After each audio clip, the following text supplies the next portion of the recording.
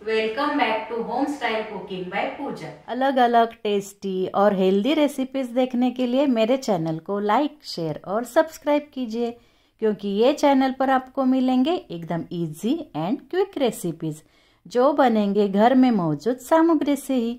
तो चलिए देखते हैं आज की हमारी रेसिपी फ्रेंड्स आज हम बनाएँगे summer special coconut milk shake ये मिल्क शेक बनाने के लिए मैंने यहाँ पे एक कप फ्रेश नारियल लिया है।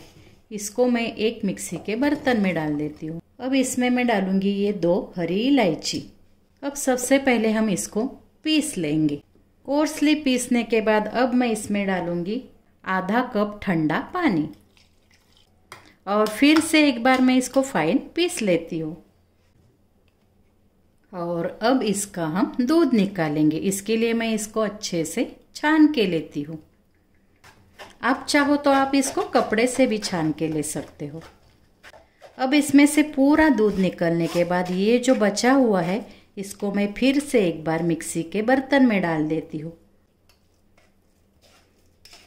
तो ये देखिए, यहाँ पे अपने नारियल का दूध मैंने निकाल दिया है और इसे मैंने तीन बार आधा आधा आधा कप पानी डाल के पीस लिया था और उसके बाद छान के लिए है।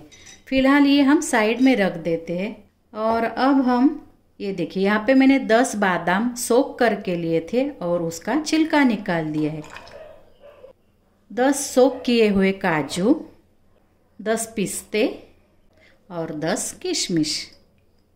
अब इसी के साथ इसमें मैं डालूँगी ये चार चम्मच चीनी। यहाँ पे आप चीनी का प्रमाण अपने हिसाब से कम ज़्यादा कर सकते हो।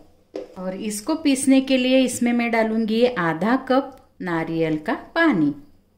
और अब मैं इसकी एक फाइन पेस्ट बना देती हूँ। तो ये देखिए, यहाँ पे अपनी पेस्ट भी बन गई है। तो अब हम क्या करेंगे?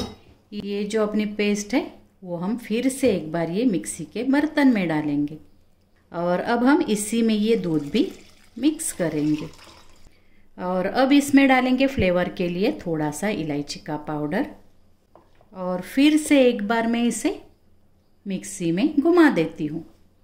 तो अब फाइनली ये देखिए। यहाँ पे अपना एकदम बढ़िया सा हेल्दी कोकोनट मिल्क शेक बन के तैयार हो। गए तो चलिए अब हम इसे भी सर्व करके देखते हैं। तो ये लीजिए, यहाँ पे अपना एकदम ठंडा ठंडा कोकोनट मिल्क शेक बन के भी तैयार है। इसको और ठंडा करने के लिए हम डालेंगे एक आइस क्यूब और ऊपर से थोड़े से पिस्ता और बादाम की कतरन। तो फ्रेंड्स ये मिल्क शेक भी आप एक बार ज़रूर ट्राई करके देखिए, क्योंकि ये बहुत ही स्वादिष्ट बन जाता है। और गर्मी के दिनों में आपको इसे पी के बहुत ही अच्छा फील होगा। तो आप मेरी ये रेसिपी एक बार ज़रूर बना के देखिए। तो चलिए, अब हम फिर मिलेंगे ऐसी एक मज़ेदार रेसिपी के साथ। तब तक थैंक यू